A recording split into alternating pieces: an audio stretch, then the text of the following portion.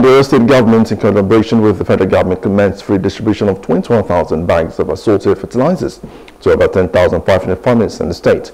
At the flag of ceremony held at uh, uh, OYSADA, a warehouse fertilizer store, uh, Lanier, uh, no fewer than 250 farmers from uh, Akinyele local government area of uh, the state received two bags of fertilizers each to boost agricultural businesses.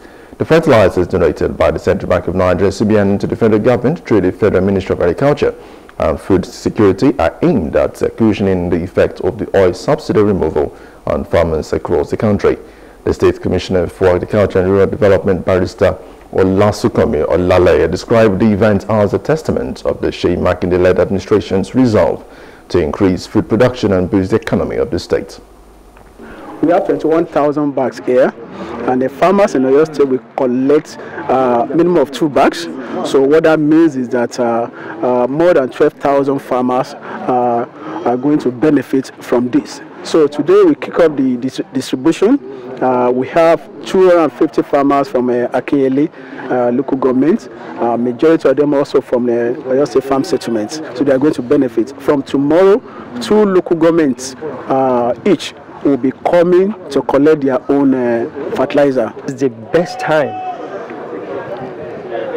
The government input can be made meaningful because this is the right planting season for the dry season, you know, uh, planting. And we are all grateful that this is the first time we ever enjoyed such a privilege especially from the government. They should expect good grains, good cassava, then soya beans, so many things. Better yield. So they should expect, inshallah. I want to advise farmers in Oyo State to apply the fertilizer to their crops.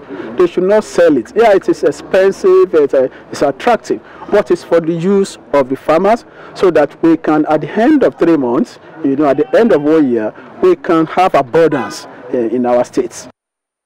Hello. Hope you enjoyed the news. Please do subscribe to our YouTube channel and don't forget to hit the notification button so you get notified about fresh news updates.